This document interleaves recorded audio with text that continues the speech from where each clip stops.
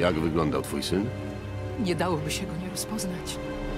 W całej nilfgardzkiej armii nie było chyba żołnierza o takiej czuprynie. Jego włosy miały kolor płomieni.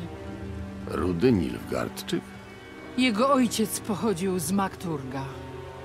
Tam ludzie nie są tacy śniadzi, a syn odziedziczył po nim wygląd. Mogę na ciebie liczyć? Postaram się pomóc, pani. Nie pożałujesz. I pamiętaj, że nie ma takiej rzeczy, której nie zrobiłabym dla Hrodberta. Rozejrzę się.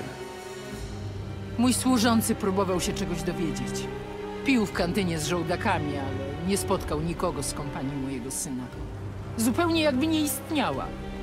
Idź do kwatermistrza. Może z tobą będzie szczery, bo mnie zbywa. Czuję to. Matka zawsze czuje takie rzeczy. Ano, zobaczymy.